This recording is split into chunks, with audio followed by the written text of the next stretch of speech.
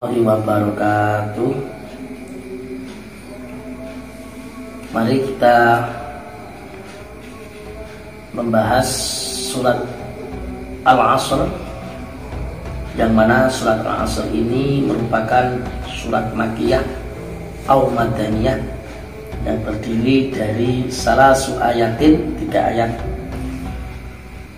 Mari kita simak bersama-sama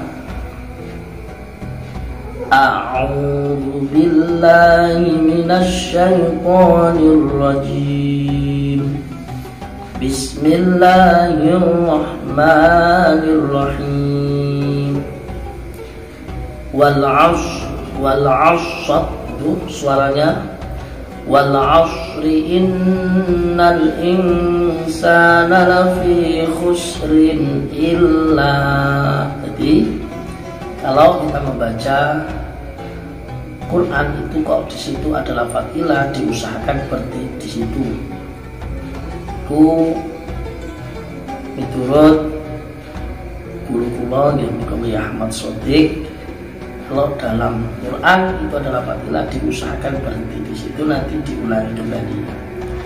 Wal asri innal insana lafi khusrin illa إلا الذين آمنوا وعملوا الصالحات وتواصوا بالحق وتواصوا بالصبر Jadi di sini surat Al-Asr ini di sini ada beberapa poin yang perlu kita pahami, kita kaji bahwasanya wal asri demi masa di masa dari masa ke masa dari tahun ke tahun dalam kitab Jalalain di situ ditafsiri ad-dahru au ma ba'da zawal ilal huruf yakni tahun yang sudah zawal huruf wa ilal huruf au sholatul asri.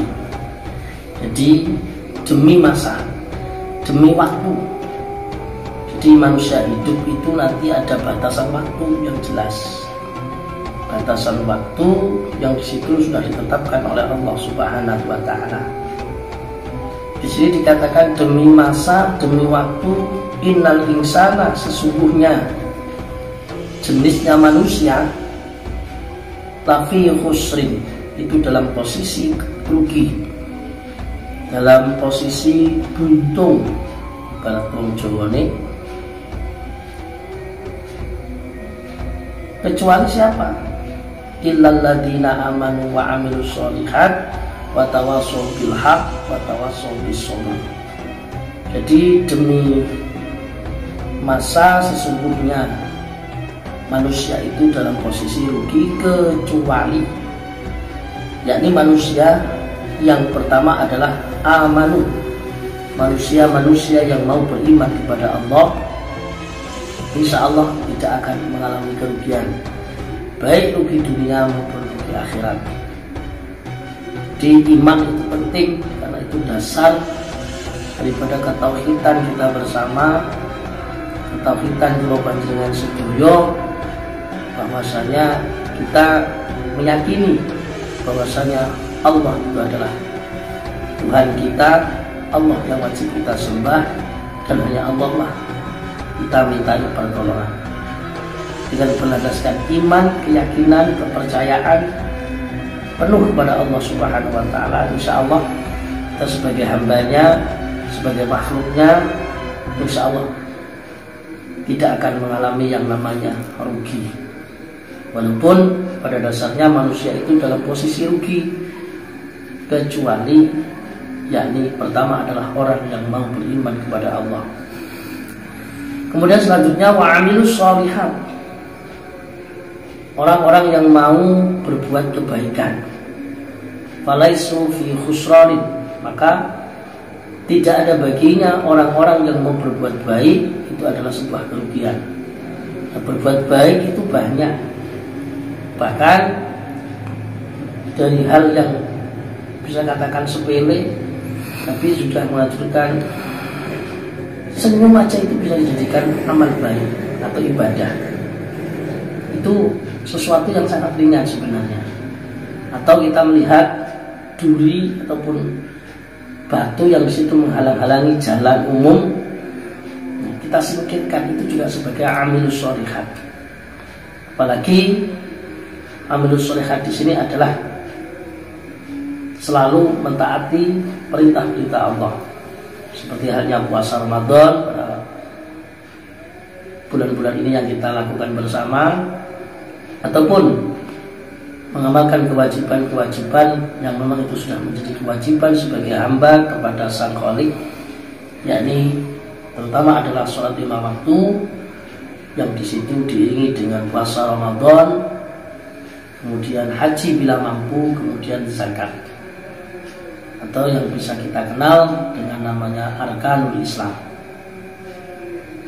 Kemudian yang ketiga watawasau watawasau bil hak berwasiat wasiat dengan sesuatu yang hak. Terutama adalah wasiat tentang keimanan. Bahwasanya iman itu kalau bisa kita bawa sampai mati yang mana dalam ayat lain dikatakan wala tamutunna illa wa antum muslimun. Jangan kita sekali-kali mati mati yang tidak membawa iman. Karena apa karena kita semua dijadikan oleh Allah tentunya kita akan kembali kepada yang punya yakni Allah Subhanahu wa taala. Saya ulangi lagi bahwasanya pada dasarnya manusia itu dalam posisi rugi kecuali adalah orang-orang yang mau beriman, orang-orang yang mau berbuat baik, kemudian orang yang selalu memberikan nasihat-nasihat tentang kebenaran, terutama adalah nasihat tentang keimanan, akidah kita kita bersama terutama adalah akidah akidah wahidiyah akidah akidah mengisahkan Allah yang perlu kita tanamkan di dalam hati. Dan selanjutnya watawasau bisobr ya ini juga berwasiat tentang kesabaran. Karena ingat sobar ala ta'ah juga sobar al maksiat itu juga penting. Sabar tatkala kita taat itu gimana? Sabar yang namanya orang taat itu biasanya banyak banyak ujian, banyak cobaan, juga butuh kesabaran. Apalagi taat kepada Allah luar biasa, banyak sekali tantangan-tantangan dan ujian-ujian yang nantinya kita akan dapat di dalam menjalankan ibadah atau taat kepada Allah. Dan selanjutnya sobar alal maksiat itu maksudnya bagaimana? Ketika ada sebuah kemaksiatan, bisakah kita ngempet ataupun menjaga, mengekang?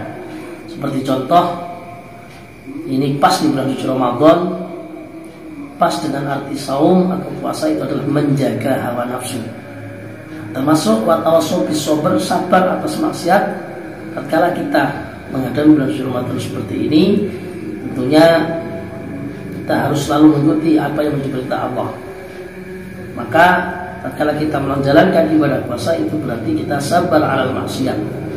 Karena pada kenyataannya masih banyak manusia-manusia yang masih tidak menghiraukan apa yang menjadi perintah Allah Subhanahu wa taala seperti halnya puasa di bulan suci Ramadan. Makanya pas dalam surat Al-Asr ini dikatakan bahwasanya pada dasarnya manusia itu dalam posisi kerugian kecuali ada beberapa hal tadi yang sudah saya sebutkan. Mungkin hanya itu dalam kajian surat Al-Asr ini yang kita baca dalam kitab Jalalain atau Tafsirul Jalalain yang situ sudah dikatakan bahwasanya manusia itu sekali lagi pada dasarnya dalam posisi rugi kecuali yakni orang-orang yang mau beriman kepada Allah, iman kepada malaikat Allah, iman kepada Rasul Allah, iman kepada kitab Allah, kodok qadar dan hari kiamat. Kemudian orang yang mau beramal soleh, menanamkan sebuah kebaikan, bercocok tanam kebaikan karena dunia mazru'atul akhirah yang tentunya nanti kita akan mendapatkan hasilnya kalau nanti kita sudah sowan kehadiran Allah Subhanahu wa taala yang di dalam alam akhirat tentunya. Kemudian selanjutnya watawasau bil haq. Kita harus selalu berwasiat-wasiatan tentang sesuatu yang hak, terutama adalah berwasiat tentang keimanan. Jangan sekali-kali keimanan kita bersama tentunya kita jual belikan dengan sebuah harta ataupun dengan apa pun yang ada di dunia ini kita harus pegang teguh kita harus bawa sampai mati. Itu yang namanya iman.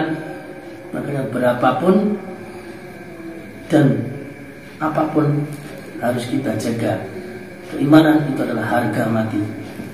Kemudian yang terakhir atau sobi sober kita harus selalu berwasiatan berwasiat wasiatan atau nasihat menasehati. Istilah wasiat di sini adalah nasihat dan menasehati tentang kesabaran.